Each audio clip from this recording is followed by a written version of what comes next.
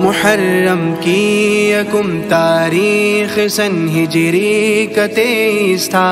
उदासी से निढाल उस दिन रसूलुल्लाह का तैबा था।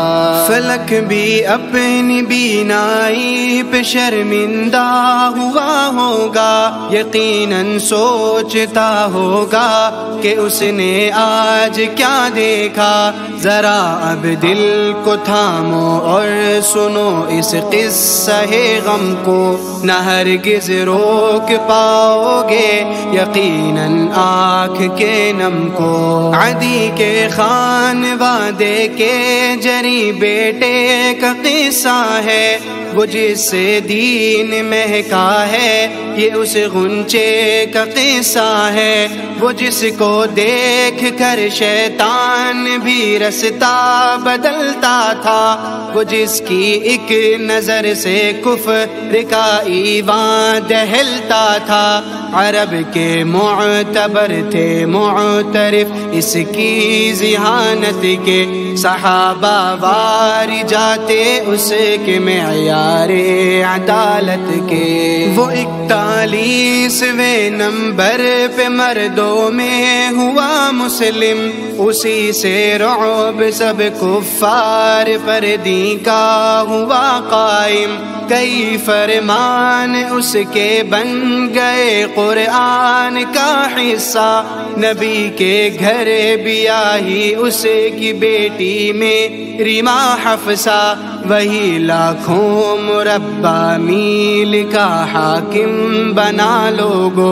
खलीफा दो में हर मोमिन है दिल से कहा उसको।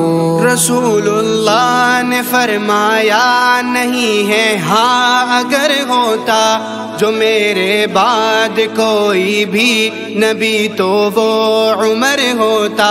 शहादत की विधि पेशीन, गोई प्यार आका ने उहद पर जब वहाँ अबू बकर और फारूक उस्मा थे, खिलाफत आपकी कायम रही दस साल तक ऐसी। अदालत खुद निज़ाम अदल पर भी रश्क करती थी।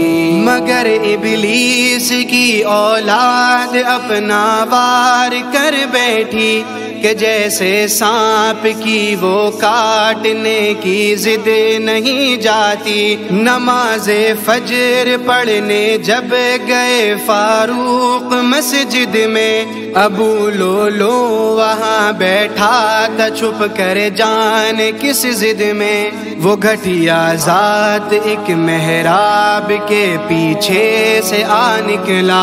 निकल कर ऐन दौराने नमाज़ उसने किया हमला। किए खंजर से वार उसने उमर फारूक पर उस दम। तो बह निकला वहाँ खूने। उमर कसरत से फिर पे हम मदीने के दरो दीवार से वहशत टपकती थी। वो दिन छब्बीस जिलहज था, हर एक जानब उदासी थी। थगाओ इतना गहरा आते उनकी कट गई थी सब। दवाई का असर भी कुछ न होता था। उमर को अब तस्वुर तो करो कितना कठिन लम्हा था मुस्लिम पर के आफत उन पे मंडलाने लगी फैलाए अपने पर। किया पर्दा गिरा कर चल दिए फारूक फिर चिलमन इधर रो रो भिगाए चश्मे मुस्लिम ने सभी दामन। उमर के जान से ऐसा खला पैदा हुआ मुसा यकी जानो कयामत तक न हरगिज भर सकेगा अब।